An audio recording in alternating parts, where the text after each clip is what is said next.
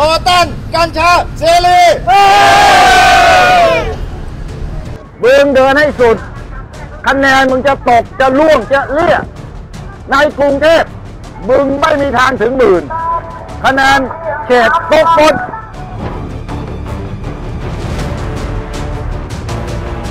วันนี้ผมแนะนำพลเอกประยุทธ์จันทร์โอชา ขอให้ท่านมีความสุข และให้ท่านตรองไว้สามคำ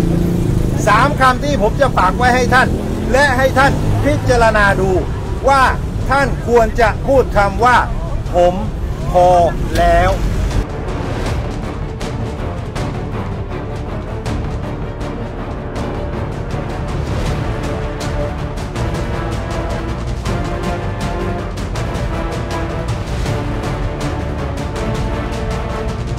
มึงเดินให้สุด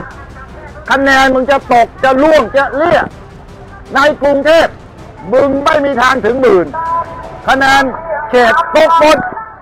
ทั่วประเทศรวมกับพักพลังประชารัฐสองพักไม่เกินร้อย และหัดไปเป็นฝ่ายค้านบ้าง ไม่ต้องไปเอากระทรวงคมนาคม ขอให้เองเป็นพักฝ่ายค้าน ไปร่วมกับก้าวไกลเป็นฝ่ายค้าน ไปเลย ต่อต้านกัญชาเสรีเห็นไหมคุณเห็นพลังของสังคมหรือยัง และการต่อต้านนี้จะลามออกไปหัวเมืองจะลามไปทั่วประเทศไทย และจะทำร้ายไอ้พักที่มันนำนโยบายเลวทรามเข้ามาในสังคมไทย โดยไม่มีความควบคุมเฮ้ยเชลกูไปแน่ ไอ้สุขสำรวย มึงจำไว้เลย กูจะไปถล่มอำนาจเจริญ ให้เละ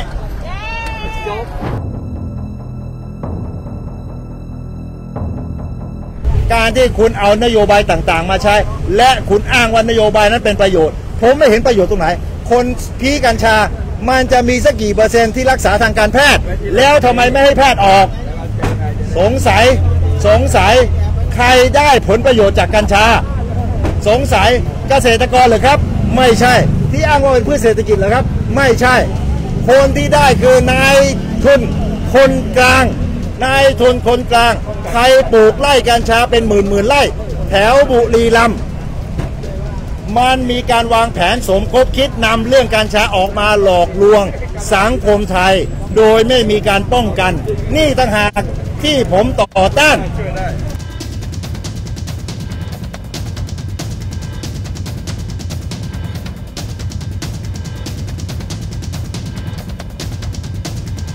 ไม่ให้พรรคภูมิใจไทยเป็นพรรคร่วมรัฐบาลให้พรรคภูมิใจไทยเป็นฝ่ายค้านมึงเป็นฝ่ายค้านไปร่วมกับพรรคก้าไกลไปเป็นฝ่ายค้านเลยก็ไอ้พรรคพลังประชารัฐกับพรรคภูมิใจไทยที่ไปนั่งกินข้าวด้วยกันเนี่ยสองพรรคเนี้ยได้ไม่เกินร้อย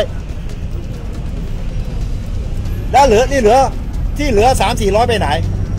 การจัดตั้งรัฐบาลเที่ยวหน้า เราในฐานะประชาชนไม่ใช่เฉพาะแกเลือกตั้งเท่านั้น เราจะต้องไปตามให้นักการเมือง ปฏิบัติตามพรรคการเมืองปฏิบัติตามคำพูดคำสัญญาเอาไว้ใช่ไหมครับ ที่คนบางคนบอกว่าต่อต้านเผด็จการ เสร็จแล้วก็ไปจับมือชูไปอยู่ร่วมกันหลังจากเลือกตั้ง ใช่ไหม คุณต้องจำได้จำไม่ได้วันเลือกตั้ง ผมจะไปเปิดวิดีโอนี้ ให้คนได้ดู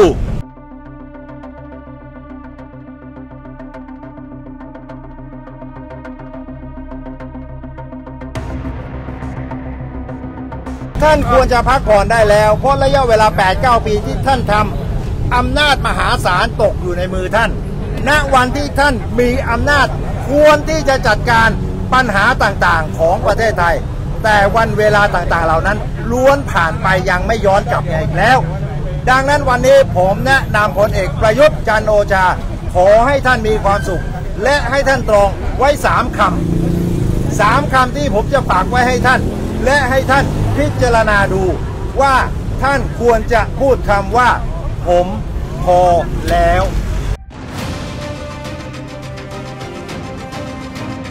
ควรจะทำพอทำพอแล้ว เพราะถ้าทำมา 8 ปีแล้วให้คนอื่นทำบ้างนะ